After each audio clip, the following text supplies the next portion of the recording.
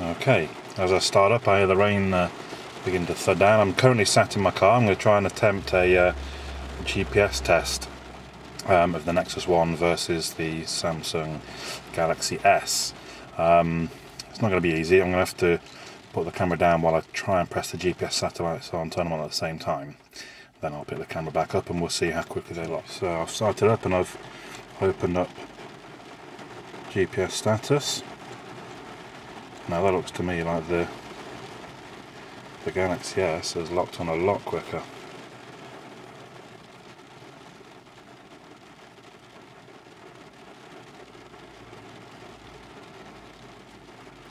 So right now the N1 is still is still thinking. But the Galaxy S has, has locked on way way before.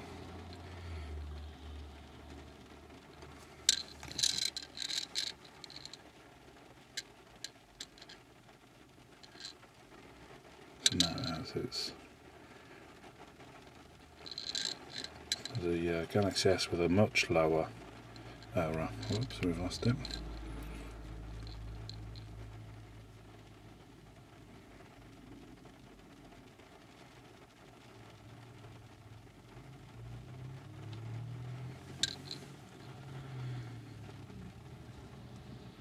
They are slightly different as well, so we're going to have a look at. Um,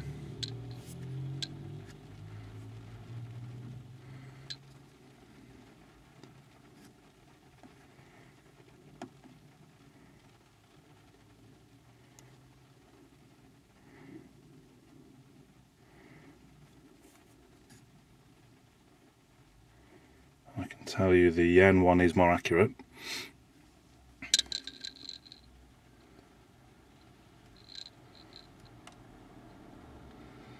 I would guess by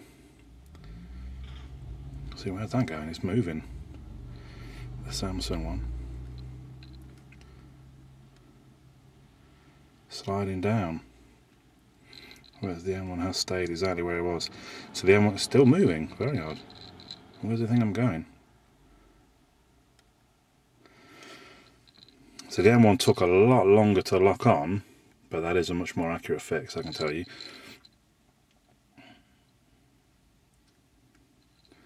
Galaxy S seems to have stopped moving me.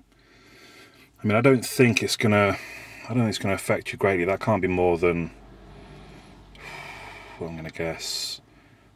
No more than 10, 15 meters wrong but it is wrong nevertheless. Now it's gradually creeping back towards where the N1 is.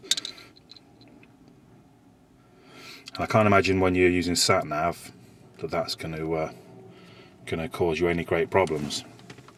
Um, so, well, I suppose your your your choice really. That, in fact, that's probably closer than about five meters now.